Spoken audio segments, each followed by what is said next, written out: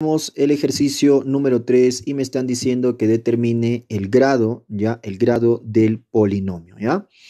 A ver, en este caso, date cuenta que tenemos acá un término y acá tenemos otro término, ¿sí o no? ¿Ya? Pero se están sumando, ¿ya? Primero lo que yo quiero encontrar es el grado de este término que es un polinomio.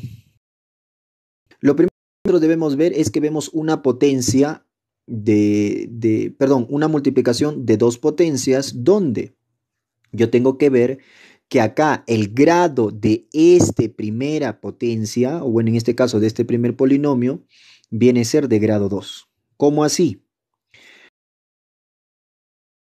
1 y está elevado a una potencia, o mejor dicho, un exponente 2, entonces se van a multiplicar, ¿sí o no? Entonces por eso me genera de grado 2. Acá también vamos a hacer lo mismo. Tenemos acá un polinomio de grado 2 que a un exponente 3, por lo cual si yo quiero saber el grado solamente se multiplica este 2 con el 3, o sea, sería de grado 6.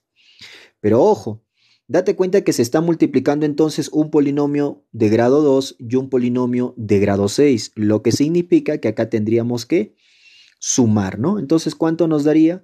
Nos daría un polinomio de grado 8. Ahora pregúntate, si tienes un polinomio de grado 8 que va a sumar con un polinomio de grado 7, ¿cuál debe ser entonces el grado de este nuevo polinomio? De grado 8, ¿sí o no? Ya está. Muy bien, entonces la